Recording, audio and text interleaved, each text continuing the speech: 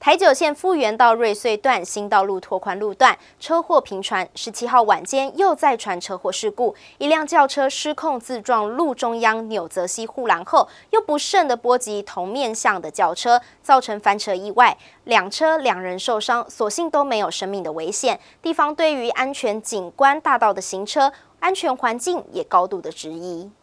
台九线北港大桥路口附近，十七号晚间再传车祸，失控自撞路中央纽泽西护栏的轿车，不仅四轮朝天翻覆在中央绿支声带，也波及到了同向的另一部车，造成两人受伤。经消防队救护车紧急送医后，并无大碍。两车驾驶均有合格驾照，无酒精反应。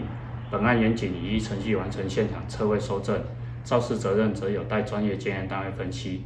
一定新造成。台九线不远到瑞穗段为新道路拓宽路段，双向六线车道，笔直平坦，常有驾驶行为不当或不注意路况等等的原因，使得车祸事故频传。警方也加强呼吁用路人行车千万小心，才能快乐出门，平安回家。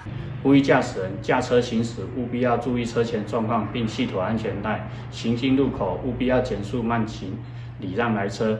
确实遵守速线标志标线及号志指示行驶。台九线瑞穗新道路拓宽路段车祸事故频传，十七号晚间的这一场车祸也再度引发了地方对于公路局规划设计的这一条安全景观大道行车环境的安全性高度质疑。记者石玉兰瑞穗采访报道。